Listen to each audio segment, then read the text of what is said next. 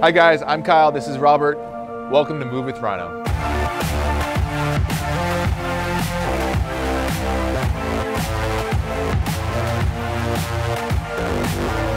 All right, today we're gonna be doing an angled reveal shot, this time with ARC. I wanna show you how to set that up because you have to level ARC.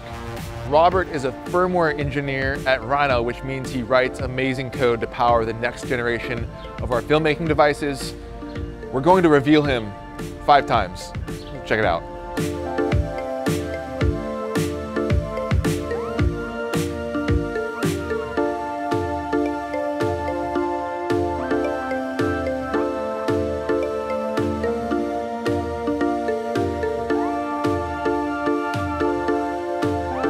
All right, so if you're going to angle your slider and you have arc, arc needs to be level or else your pan action is gonna be totally messed up. So the way that we do that, we're using a ball head. You can use a leveling plate, you can use a fluid head, whatever you have.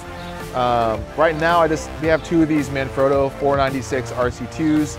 I have a little quarter 20 to 3 8 inch adapter, so it's easy to go into the bottom of arc. And then it's really easy to connect. Check it out.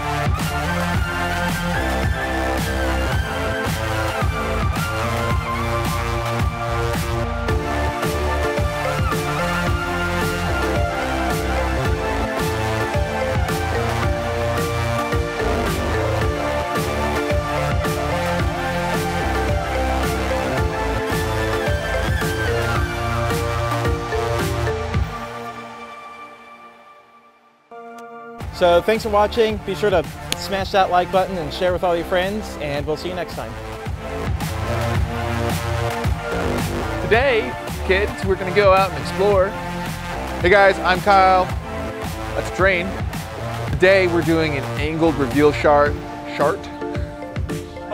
Shart. That's happened. So thanks for watching. Uh, I, I gotta. oh, damn, good catch. Got that on cam.